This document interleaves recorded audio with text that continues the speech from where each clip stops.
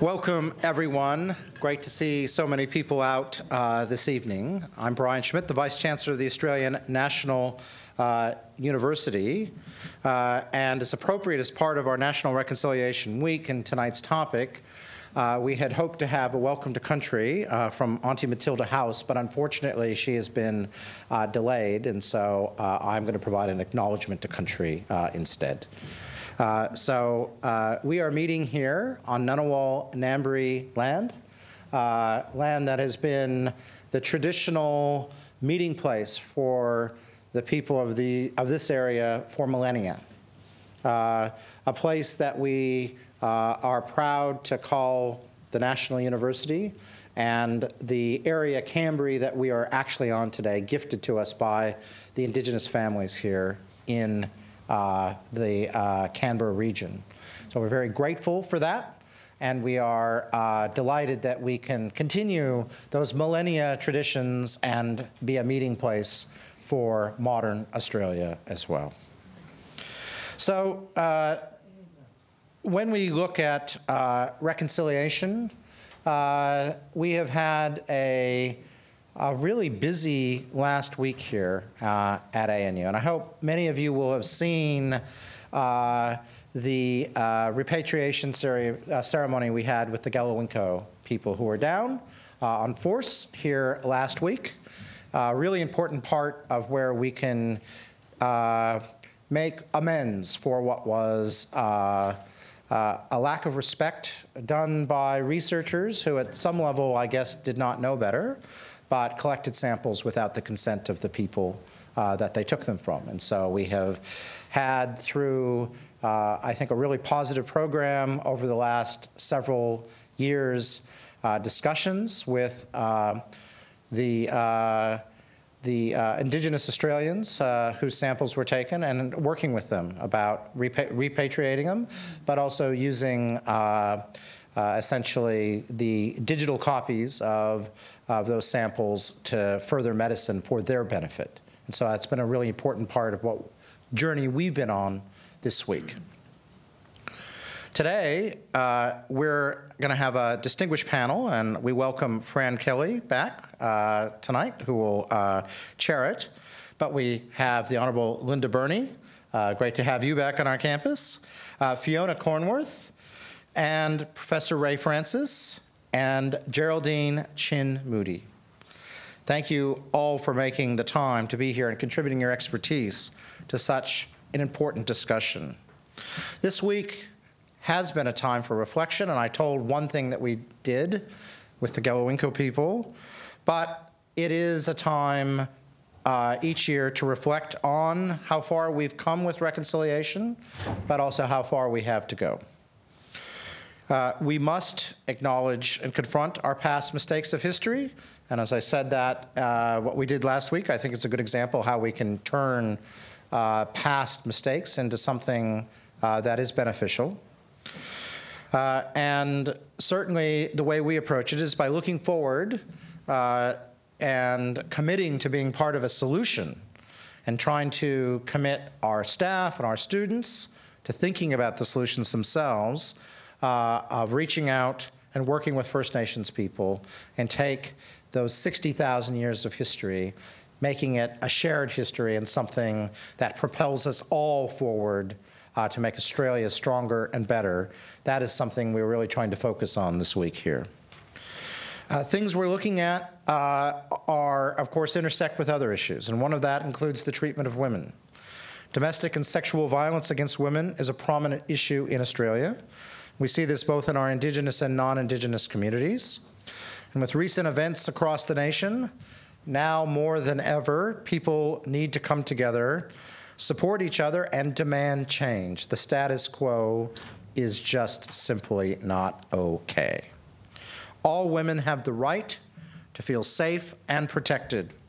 And part of reconciliation is about being on this journey together, as I've said. We can only make a difference. We all work as one, continue to break down the barriers that hold us back. And as I said, by doing this, we think we can benefit the whole nation. It's not just ourselves, it's everyone. Tonight we are joined by a panel of leading women and advocates who are champions of change and work hard to make a positive impact. And so I'm going to invite Fran Kelly on uh, up, and under uh, her guidance, our panel is going to explore what changes we could make if Indigenous and non-Indigenous people come together uh, and work towards meaningful, lasting change. Uh, and I look forward to uh, learning a lot tonight. And so, Fran, over to you, and we'll leave you uh, in your trustworthy hands.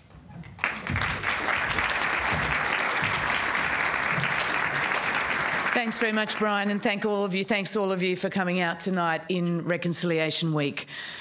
Perhaps we do always need to start with just looking back and dealing with the notion of reconciliation itself. In the year 2000, probably many of us here walked across a bridge together in Sydney or in Melbourne or in streets and parks in towns and cities across the country as a show of support and enthusiasm for the reconciliation process.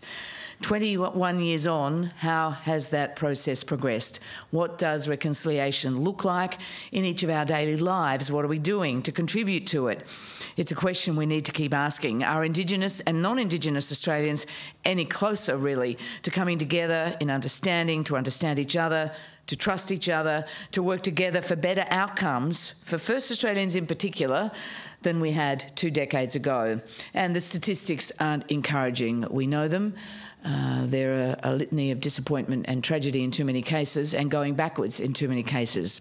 Right now, as, as Brian mentioned, a pressing issue for the nation is the safety of women, prompted by the actions of a young former political staffer called Brittany Higgins, who came out three years ago alleging she was raped in a minister's office in Parliament House here in Canberra. Her description of the response of ministers and senior government staffers to her ordeal was both shocking and familiar, particularly for the many, many women who've endured sexual assault and harassment in workplaces, in communities, and in families over generations.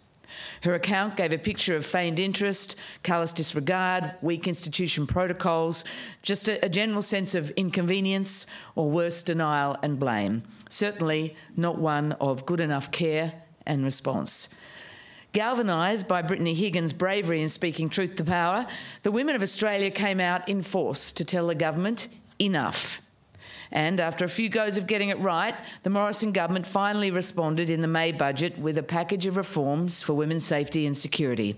There was double the money for more community legal support, for better resourced family court processes, for frontline services like helplines and emergency accommodation, and grants for women fleeing violence. There was some, a little bit, for all of those things, and that was an improvement. There was $26 million earmarked specifically to improve support services for our First Nations women.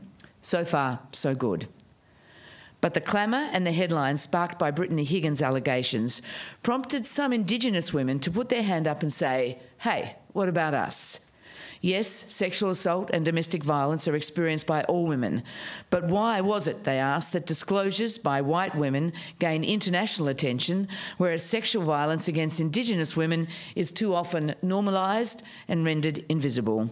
This was the question posed in an open letter by three senior Aboriginal academics Associate Professor Hannah McGlade, Dr. Marlene Longbottom, and Professor Bronwyn Carlson, who made the point that one in three Indigenous women and girls will be raped in their lifetime, and yet our state and federal governments fail to respond, and the nation fails to take enough notice. They called for Indigenous and non Indigenous women to come together in solidarity and respond with respect for each other to work together to end the violence against women. Now, that would surely be an important step along the path to reconciliation. Our all female panel tonight is a blend of youth and experience, Indigenous and non Indigenous women. Linda Burney, can I invite you up on stage? Linda Burney is the federal Labor member for Barton. She's a proud Wiradjuri woman who was the first Aboriginal person elected to the New South Wales Parliament and the first Aboriginal woman elected to the Federal House of Representatives. She served as a minister in the state government and a shadow minister across a range of portfolios federally. She's currently the shadow minister for families and Indigenous Australians. Professor Rae Frances is the Dean of the College of Arts and Social Sciences and Professor of History here at the ANU. She's a widely published author with a deep interest in the struggles between dominant and non dominant cultures. Fiona Cornforth is the CEO of the Healing Foundation, which many of you might know is a national Indigenous organisation working with communities to address the ongoing trauma of forced removals and the ensuing stolen generations. A proud Wuthathi woman from far north Cape of Queensland, she too is an alumni of ANU, where she has a master's graduate at, of the College of Business and Economics. And Geraldine Chin Moody is the co founder of 5H Values Capital and a non executive director of Future Super, which is an ethical superannuation fund. She's held senior leadership roles in corporate Australia, including with the ASX and Virgin. She's a passionate champion of inclusion and diversity, and she's also been on the board of UN Women and Refugee Advice and Casework Service and Welcoming Australia. Would you please welcome the esteemed panel?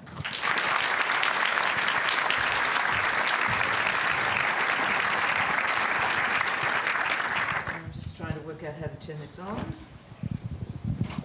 One, two. Yes, that's working. Thank you. Um, I should be better with a microphone than that. I apologise. Uh, Linda Burney, just first an update, really, not so much in the realm of reconciliation, but you've been up on the Hill at federal parliament while this debate about sexual assault and harassment has been playing out. In that building, does it feel to you that progress is being made, that a culture in that place that we have all now seen can be sexist, even predatory for some young women, is being forced to change?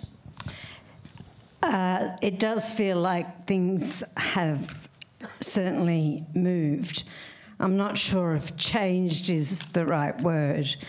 Um, Fran spoke about the bravery of Brittany Higgins um, and incredibly brave what she has done and the way in which she pursues the issue. There was money in the budget, that's true, but uh, you would not be surprised if I said I think that was more about throwing bits of money at a political problem more than a systemic way of dealing with the issues.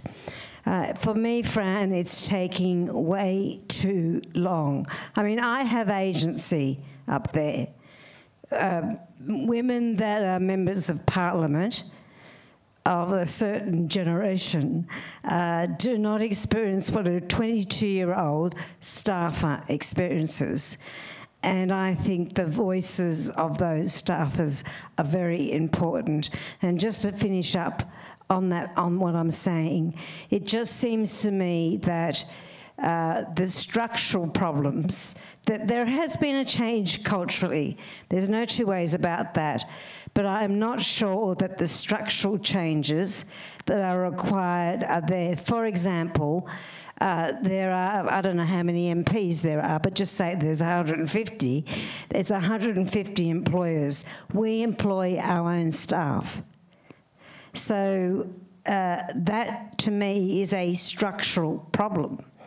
Where do those staff go if the employer is the predator? Yeah.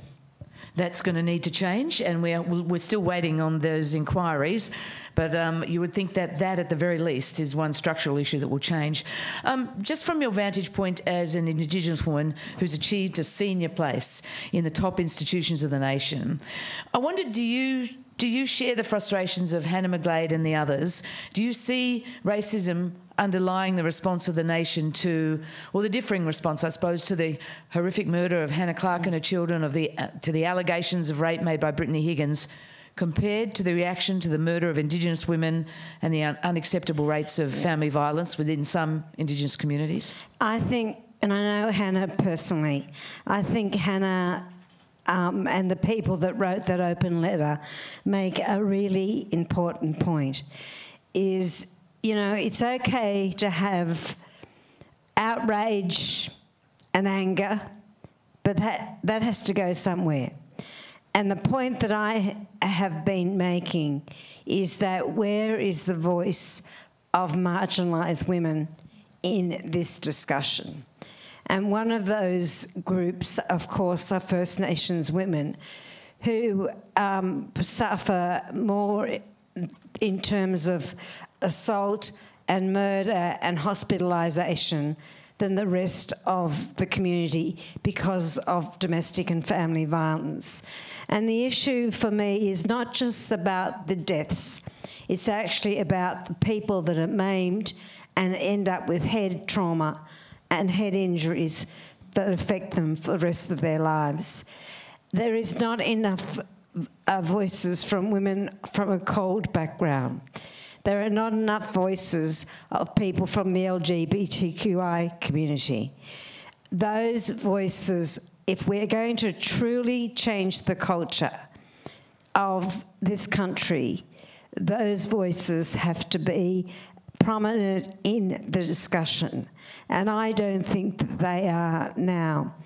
For example, and I'll finish on this point, the way in which Aboriginal women see this issue is very different to the way that non Aboriginal women see this issue.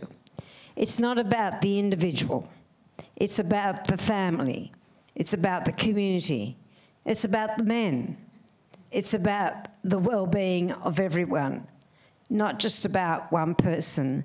And I can tell you that the way in which the media reports um, on, on the constant death and maiming of Aboriginal women is extremely different to the way in which, uh, as Fran has said, uh, sensational reports of white middle class women um, are reported. Well, I think the issue too is it often just does not even get reported, and there's a whole lot loaded in that. Mm. Um, and what you've just said there, we need to hear the voices. This is not a new refrain. This is, seems to be the point we get to too often, which goes to what I was saying in the 21 years since 2000. Have we moved far? Rae, as an historian, I mean, what are the lessons here about attitudes to First Nations people? Because this particular debate is not special to Australia. Women everywhere are subjected to male violence, of course, but in the US, for instance, there's a, a movement called Say Her Name, a response by black women to the invisibility of their deaths at the hands of police and others. Um, yeah, look, I think it's um, a really important comparison to make, and we can learn a lot from other um, jurisdictions, not just the US, Canada, and New Zealand, for example, where we have powerful First Nations voices being very active on that point. But in the Australian context, I think um, it's it's very interesting, you know, the point about the, the differential reporting of white and non-white. But um, I think we shouldn't lose sight of the fact that sometimes it takes reporting of something close to home before people stand up and take notice. So um, the first women to get into education were often there because um, their fathers thought, well, that's pretty unfair. I've got this really clever um, daughter and she can't get into university. And often it was powerful white men who advocated. And I think what's really struck home with um, Brittany Higgins' case is that a lot of powerful white men in Australia think that could have been my daughter and it's made a difference. And that opens up the discussion where people look more broadly at what else is going on in that space. So, um, what um, those three Indigenous women said is absolutely true, but I think it's not all negative. Okay, well, Fiona, on that, in terms of you know opening up discussion of, of what needs to happen, it's your generation of Indigenous women who will be the architects of change and Indigenous young men. How how can you see this happening? What are you? What, what needs to happen for the women in your community to feel safe and for the men to commit to make it so? Well, we need to get this um, intergenerational healing movement underway. Um, a lot of the issues that we're faced with in our communities are down to the fact that um, there were policies that removed us from families, from loving and nurturing families, and it affects um, more of us and our populations um, than you than you would think. It has a significant impact um, the the rate of removal um, across this country, and so um, that is historical trauma that is yet to be addressed. Uh, and when you're faced with that, when you're operating and functioning in life from a place of distress, how can you possibly take on bigger fights um, on, on behalf of all women, of all Indi- Aboriginal and Torres Strait Islander women. It's, it's really difficult, but um, uh, you know, we at Boyd, as, as, the, as the Healing Foundation, um, we've been able to work alongside communities who have solutions and women who are uh, empowered more than ever to, um, to overcome trauma, to understand that it's a human experience and that it's uh, our, our, cultures, um, there are elements in our cultures that have always kept us safe and well. And if we re, um, restore those things, we reprioritise them, um, you know, we can lead healing in our communities. And uh, I guess um, one of the big things that's front of mind for me is a visit um, to the Yawuru country um, and meeting with Kimberley Aboriginal women, over a hundred of them recently. Um, myself and my deputy CEO got to go along as observers. They wanted us there because we could bring the evidence and the research um, around effective healing, um, but they had the solutions and it was amazing, amazing to watch. Um, they used uh, June Oscar, the Aboriginal and Torres Strait Islander Social Justice Commissioner's report, which has those four priority actions that include intergenerational healing or addressing intergenerational trauma. Uh, and they spent 12 hours over three days, each day, 12 hours, um, um, putting, putting actions against each of those priorities. And can you tell us a little more about that, Fiona? Mm. Because, you know, the intergenerational healing, and I know you're, you're giving a major address at the National Press Club tomorrow, laying out some of the, the data and, and which underlies sort of this connection to intergenerational trauma and, and, and the aftermath, if you like, that still carries through today. But it, it, it doesn't sound to me like a, a quick fix. I mean, this, there is an urgent matter to be done here to keep women safe when you look at you know the horrific rates of, of violence and hospitalisations linda was saying. But so what are some of those solutions and are they seeing because you know you can also look on and go well is that just a cop out for the black men that they you know are, are hiding behind international intergenerational trauma? What's some of the the changes that are being made the actions taken? Are they having any short-term impact that you've seen yeah, absolutely. And it's creating safe spaces to tell your truth and to be heard and to seek help and support in each other like we like we always did like we did before you know. And um, so that's that's something that comes to mind. But I um, can tell you that I saw exactly what Auntie Linda said before. It's um, uh, that we look at the whole family. We we look at the men. Uh, you know, there was a pre- presentation about um, how we're going to catch perpetrators, and these women said, "Hang on, you're talking about my brothers. You're talking about my dads, and my, you know." And and um, it, it occurred to me then, and you know, in my reflections in Reconciliation Week, that we have these uh, wonderful matriarchs that inspire us and who've led these movements for so long, but they've also absorbed so much. They've also taken the brunt of, um, you know, thing, things like um, Hannah McGlade and, and others spoke about. They've um, so that my generation uh, and and future generations can be stronger and freer, like freedom from trauma experiences, and um, that was acknowledged as well. Uh, and you know that's important for us to draw strength from. But it's um, and you know we've got wonderful partnerships in the Torres Strait with um, Mura Kosker soror- sorority, um, and they work with the perpetrators and and they're not the only ones across the country, but they're leading the way. This small little organisation in the Torres Strait saying we're gonna we're gonna heal our men we're going to lead this intergenerational healing because we've always known how to lead. Um, uh, sorry, how to heal. Our cultures um, have provided for it, uh, and um, we we need everyone else to get on board.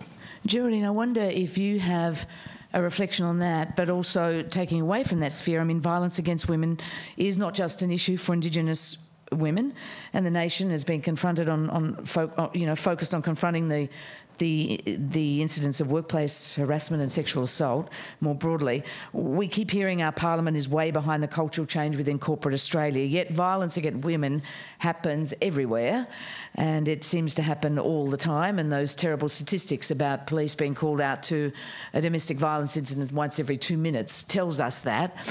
Are the corporate workplaces, is the corp- corporate world much different when you scratch the surface? And as Fiona's just told us, have you come across programs uh, that have small, worked well, that could be uh, as, a, as a reference to, to broaden out and replicate and, and make change?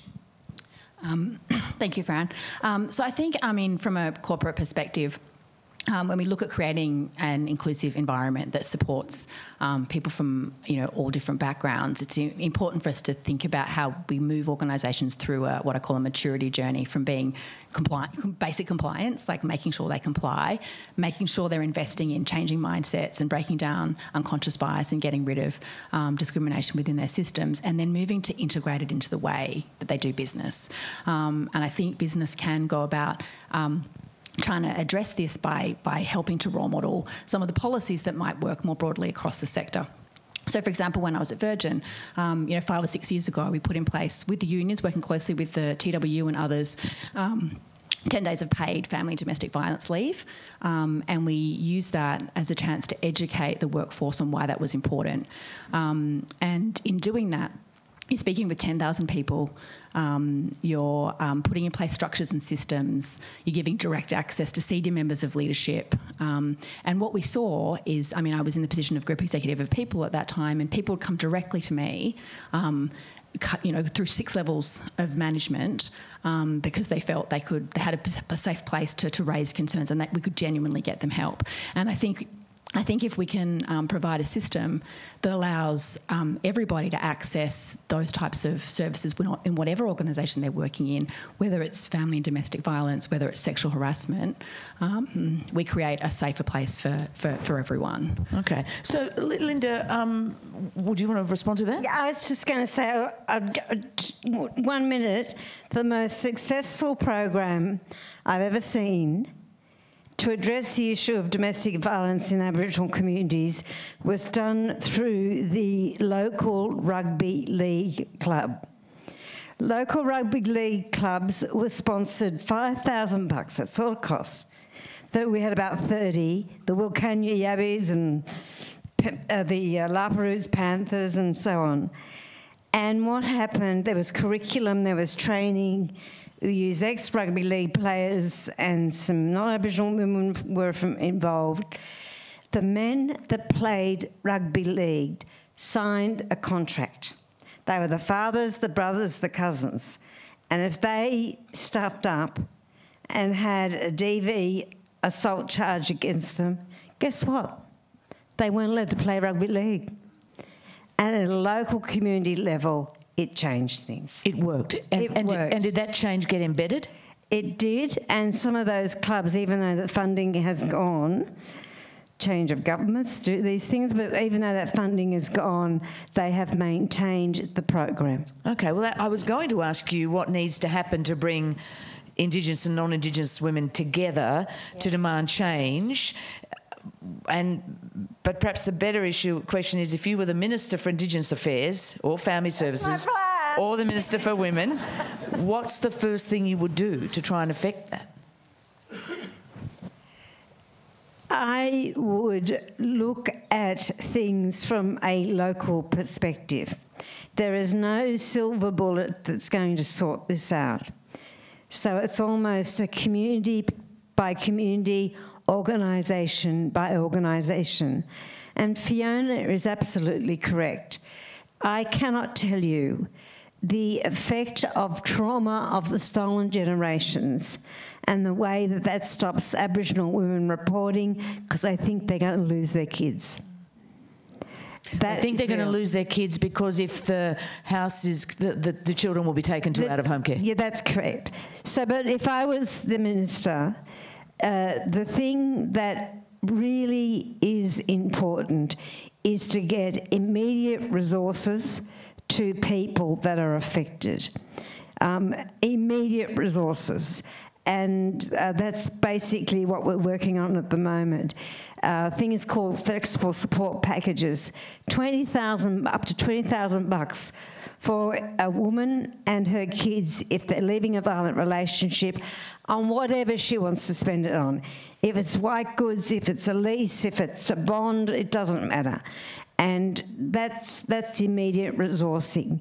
This might sound crazy, but resourcing um, um, refuges for women, for women's pets. You've got no idea how many women, particularly from rural, rural the rural um, regions, stay in relationships because they've got responsibility for animals. It might be potty calves, it might be foals, it could be family, family, family pets. The really practical things, but getting resources immediately to people that need it. And the biggest issue I hear from um, from the sector, Fran, is not to do with a response to violence, but it is availability of social housing and, and places for people to go. We know in some regions in New South Wales and across this country, there is no rental. So, how can you leave a relationship in a small country town if there's nowhere for you to go to? These are the very practical and pragmatic things that need to take place. And uh, we should say, there, I mean, there was a pilot, for instance, of the immediate um, fleeing violence grants, wasn't there, in the, in the budget, up to $15,000, I think. So this is a pilot only. I think it's a pilot, and it's it's fifteen hundred dollars. Fifteen hundred, is it? That you get money. Oh, yeah. And the rest is in counselling services and so forth. Oh, you're right. A five thousand dollar grant, I think. But and the other thing is that you know you you should not have to use. If you're leaving violence, you should not have to use your um, holidays or your rec days to get out of that relationship. You should be supported, which is corporate Australia is doing a lot of this, for up to 10 days paid leave because you need that time. You get out of a violent relationship, I've done it myself, you just collapse. For three days, you don't know where you are because you've put up with that trauma for so long. So these things have to be considered by policymakers and politicians when they're thinking about the real issues faced by women.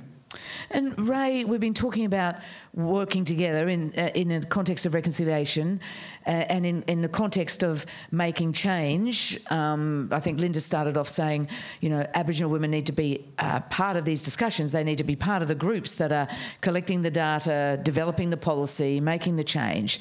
So, is it about working together, or is it a better way of saying that about learning from each other? and, and what is it? I don't even, I don't know even if you've if you've had this uh, had, had done this exercise, but within Indigenous culture that you think we can learn on? Is it the notion of, of elders, as Fiona was talking about? Is there something you've seen within in the Indigenous community that you think we can all learn from? Yeah, and I think um, I've learnt a lot from Indigenous people in the time that I've been working in universities um, and also um, in the museum sector. And what I've learnt is to slow down um, and listen more. That um, we're all, well, people like myself are brought up in families where you're taught to advocate um, and speak up, and that's almost more important than listening.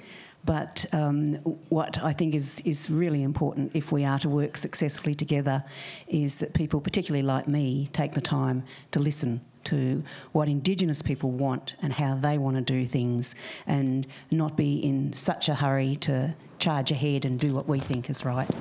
And to listen, of course, then the Indigenous women need to be at that table. So they're there for you to listen to, which is a significant change, I think. If we look at the groups, the advisory groups that get set up, um, they're often not there.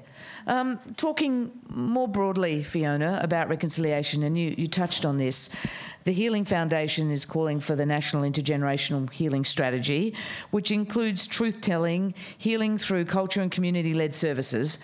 Um, how important is the truth telling bit of that, Fiona? The process of acknowledging the past, of, of hearing what happened at the point of colonisation, you know, to, to the reconciliation process more broadly for all of us? It's really important for so many reasons, but one of the biggest is that how, how do you um, make solutions for a problem you haven't framed properly because you're only dealing with part of the truth and not all of it.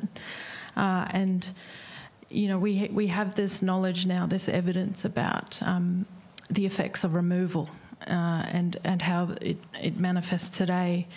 Uh, and um, look, when just going back to uh, linking back to my previous comments, Fran, I.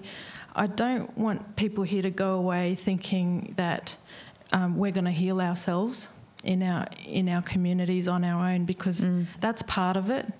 But when you talk about how um, our people come together with non First Nations peoples, I I'm, i think about this. Um, this gathering we had in Townsville recently, and uh, you know, there's uh, there's a transient Palm Island community through there as well, and we had maybe about 40 people gathered who are all involved in local healing programs, and they're all volunteers. They're all tired, burnt out, doing the heavy lifting for this community with high rates of youth crime, high rates of trauma. And, um, you know, you had these elders that are saying, Fiona, I, um, I get $50 to go to the, the jail, uh, and guess what? I, there's, there's this lady that's been in and out of there for 16 years, and I finally got through to her, and she doesn't want to be there anymore. And, you know, it breaks your heart. They, this, she's celebrating this, this triumph um, but they're all volunteers mm. and. Um, you know, we don't get a lot of money ourselves as the Healing Foundation. We haven't had an increase in 12 years since we are operating, but the demand is huge. And so, all I can really do with that is say, look, system by system until it's workforce by workforce and sector by sector. Um, sorry, the other way around workforce by workforce and sector by sector until it's system by system, everybody needs to be trauma aware and healing informed. And if we're coming together, then everybody in those workforces, everybody in those settings that we interact with as Aboriginal and Torres Strait Islander peoples needs to hear us, needs to validate our experiences, and needs to be led by us with, with really solid solutions. I think that was um, very clear in, in, what I've read of the dialogues that led to the Uluru Statement from the Heart. Those gathered, uh, from what I've read, the clearest statement they wanted to make first was a recording of their history before they started talking about the constitutional, making the point that you cannot recognise that which you do not know. And I was really struck by an excerpt from one of them. This was from the Darwin, Darwin Regional Dialogue, which said Australia must acknowledge its history, its true history, not Captain Cook, what happened all across Australia, the massacres and the wars. If that were taught in schools, we might have one nation where we are all together. Geraldine, do you think if that was taught in schools, that might make one nation, that would make a difference?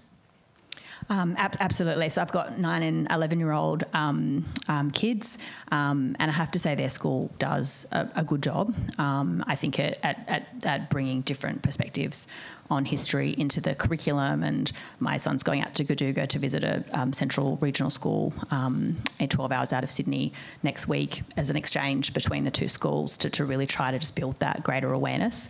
Um, but I absolutely agree. I think it's up to schools. It's the education system really needs to change. It needs to be across the system. Um, and it's up to also, I think, the workforce has a role to educate our parents so that the parents are also able to bring um, bring um, and change the, the biases. Often when I see bias bias in the workforce and issues in the workforce where you're dealing with um, discrimination and racism, it's it's based off a belief of, that they've grown up with, um, and so then it becomes harder to um, harder to resolve it when people are bringing those biases that are so so um, unconscious into the workforce. So I think I think it's absolutely fundamental um, that we embrace the Uluru Statement, um, that we have this process of truth telling.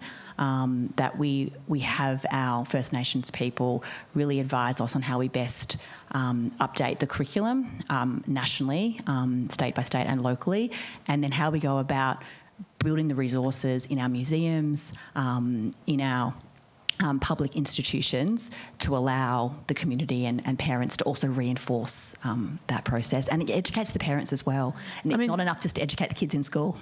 Perhaps, you know, I'm suffering from what Rae was saying. I just want it to all to happen more quickly. We've been talking about changing this curriculum for as long as I can remember. The Uluru Statement of, from the Heart is four years old last week. Rae, if that's the blueprint, and, and I'm sure Linda wants to chip in on this too, but if that's the blueprint of what First Australians um, have have articulated they want and need, presumably it's the bedrock then of successful reconciliation. If our government aren't responding in a timely way, can the rest of us do it without them? We can't hold a referendum, obviously, unless government's persuaded to, but, you know, what can we do? Well, I think um, at the Australian National University we can do an awful lot because um, we have uh, fantastic historians who work already. Um, some of them are Indigenous and others work with Indigenous communities. And we would love to lead a process, a nationwide process. And here I'm plagiarising Peter Yu's idea. Um, we have a, a local truth telling that goes across the country so that you can imagine the whole of Australia as a mosaic of local communities investigating their own story of contact and coming to terms with that and owning up to it. And we've got a fabulous exhibition in the um, art and design um, gallery at the moment on the Myall Creek Massacre, which is an art installation um, which was produced primarily by Indigenous people, curated by um, Bianca Beetson um, from New England area, and that relates to you know the famous Myall Creek massacre, where the local people have come together and they've interviewed descendants of the perpetrators as well as descendants of the the victims of that massacre, and they've um, told stories about it, which actually you know try and reach a place where, as Bianca puts it, you can heal country. And it gets back to your point too about, about healing. And I think that's a great model that we could, if we applied that all across Australia and everybody confronted what went on in their backyard um, and tried to find a place to, to move on from that, I think that would be very powerful. And here at the ANU, we would love to um, facilitate um, and inspire that process. Linda, do you think that the, the Uluru Statement of the Heart basically really gives us the starting point for all the change that needs to happen? I do. And I do want to recognise Brian and the leadership this university has provided over um, some time in relation to the Uluru Statement. Um, and I've had a Peter, Peter, you and I met last week and we spoke about truth telling. So the Uluru Statement, um, I actually think, Fran, that the Australian community is ahead of politicians on this one. Well, we probably should remind people that four years on, the process, there is a process. The Indigenous Affairs Minister, Ken Wyatt, Well- has started a process, but it, it's stalled and it's stalling Yeah. short of constitutional recognition. Um, well, Seems to be. I tell you what, very briefly. Uh, so the three working groups that Minister Wyatt has uh, set up that have undertaken a national consultation on what a voice might look like were forbidden. As in the terms of reference, which I have a copy of, of dealing with anything to do with Uluru.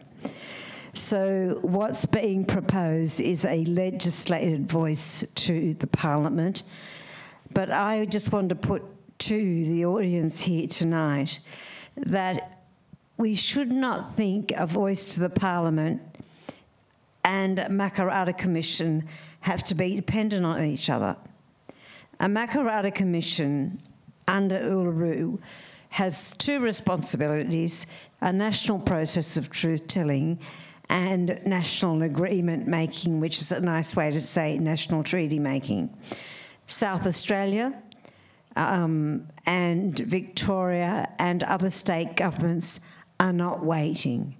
They have started their own processes in terms of truth telling and their own processes in terms of treaty making, including the Northern Territory and Queensland. Um, it seems to me that what people need to come to terms with as well, that I reckon on back of the envelope, this is about 100 million bucks to do. To have a national process. To have a national process of agreement and treaty making and establish a Makarrata Commission.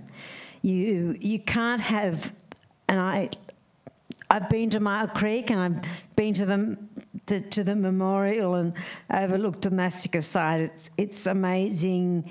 It just, it's, it's, it's incredible. Um, but if you want uh, local governments, local historical societies, schools, local communities to get involved, you're going to have to pay for their, what they need to do. You, they, it doesn't, it, it can't be done without a proper budget. And a process of treaty making, um, the model that I have in mind is led by uh, commissioners and we have to remind ourselves, everyone, that this is going to take a long time.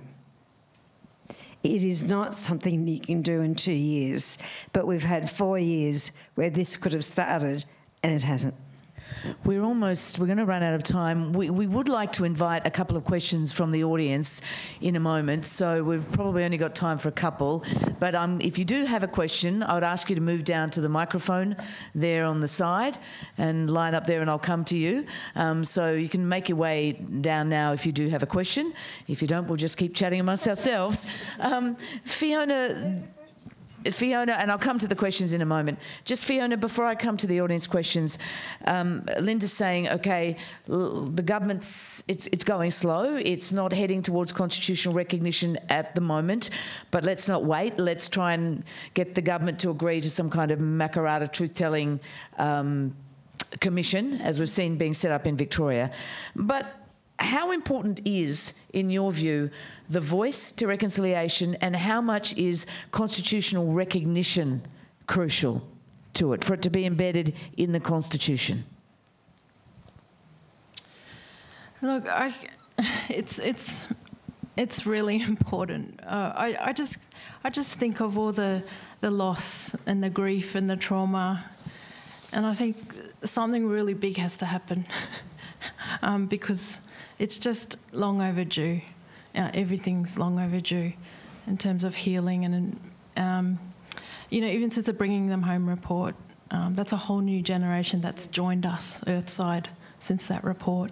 You've got professors uh, and lecturers walking around here who, you know, um, were born after it. So uh, it's we can't we can't afford to wait around for another generation to uh, join us. It has to be something as big as that, and it, it is possible. Um, there is um, a people.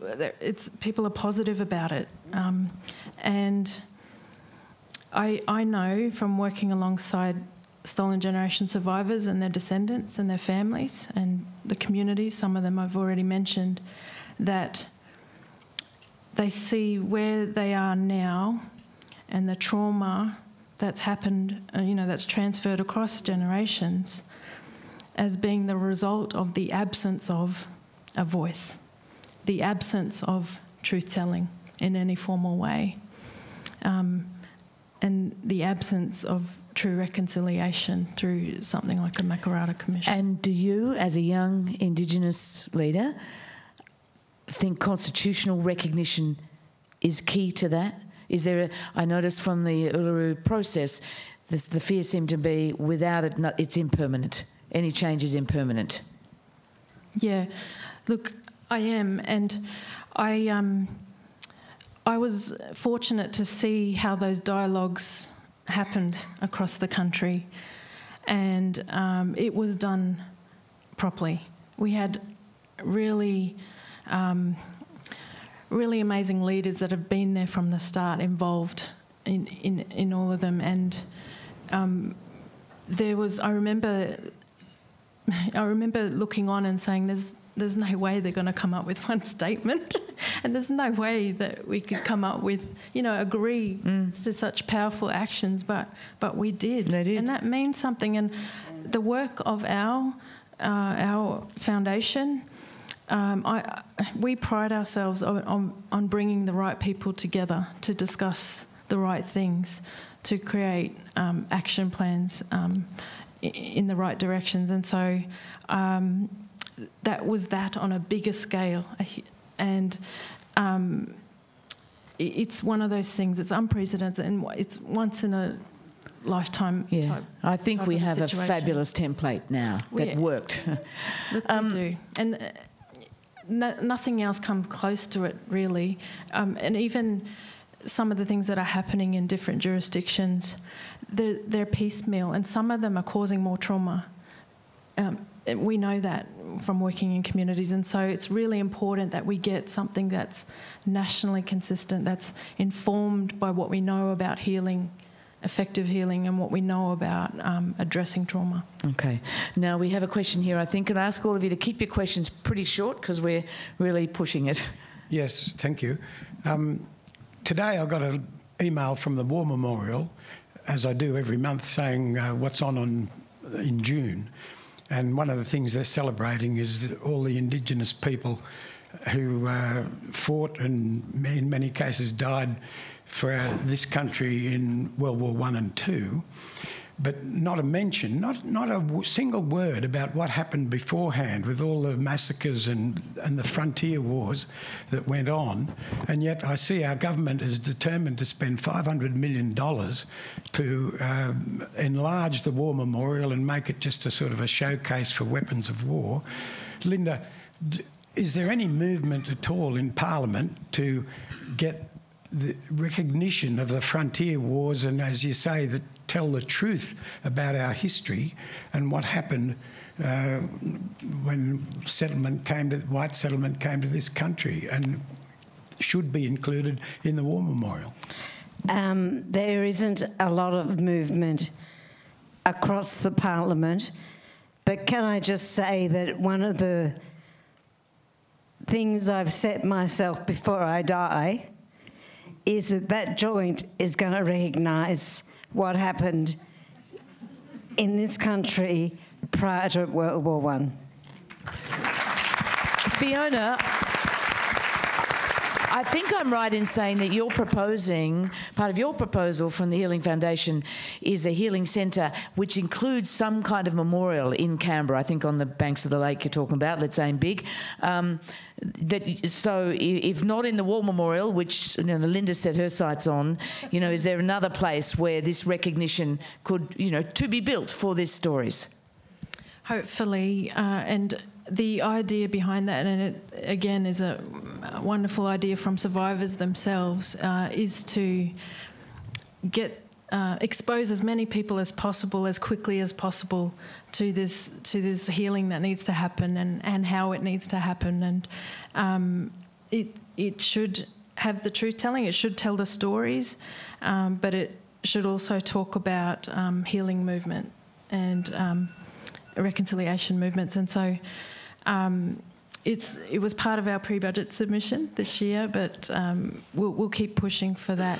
We know there's a memorial there now in Reconciliation Place that acknowledges the stories, but uh, we're looking at things like. Um, well, uh, well, IATSIS, it's their their mission is to tell the stories of Aboriginal and Torres Strait Islander peoples, but I, have said to them, you can't do that without us, without um, what we know from our survivors, from the truth telling from survivors, and how they've gotten through it, and how they want to lead this intergenerational healing movement. And so, um, you know, there's some hope there, but it costs a lot of money. Well, it costs a lot of money, but we're spending a lot of money at the moment. So yeah. now is the season, I think, for this. Yes. um, and one thing to be sure is we do need a place for all of us to go and hear the stories. If we're still not learning them in the classrooms enough, We need a place, whether it's in our war memorial or it's by the lake in a healing, we need the stories for us to know because without knowing, we can't understand. Look, thank you all of you for not asking a lot of questions. That's tremendous because we are out of time. So, just to finish off, a quick thought from all of our panel. Let's start with you, Geraldine. A, a thought from you about reconciliation and, and how to get there and how women might lead that. Um, so I think, from my perspective as a half Chinese um, Australian woman, um, I don't believe we can create a country of welcome, a country of inclusion, organisations of inclusion until um, we've embraced the Uluru Statement, until we've gone through um, the truth telling process. So, from my perspective, I think um, everyone like me needs to use our voice and we need to, um, to stand up and be bold and brave and, and call and support it to get the community support so we can get, for example, a constitutional referendum approved. So, about using our voice to support that so we can move to the next stage. Fiona, a final thought from you? Gosh, it's tough to have fun. Uh, I'm at the press club tomorrow, everyone. That's right.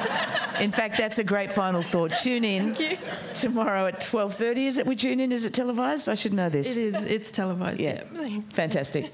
Rae? Um, my final thought is that you know we can all act as citizens, but we can also act from the positions that we have um, in the community. So um, those of us, you know, lots of us here in the university, we can um, use our influence to ensure that you know education we know is the key to a lot of this stuff, and we are in a fantastic position to ensure that the next generation um, of educators and politicians and community leaders um, know more about the things they need to know to, to make this country heal. Linda, I know you have a final thought. My final thought is that reconciliation is not a destination. Reconciliation is a journey. And we're all part of that journey. And don't ever feel that this is such a big issue. What do, what do I, what matter? It's the humble acts of reconciliation that bring about change. That's a terrific note to end on. Could you please thank the panel, Linda Burney, Fiona Cornforth, Rae Frances and Geraldine Chin Moody. What a terrific discussion. Thank you, all of you.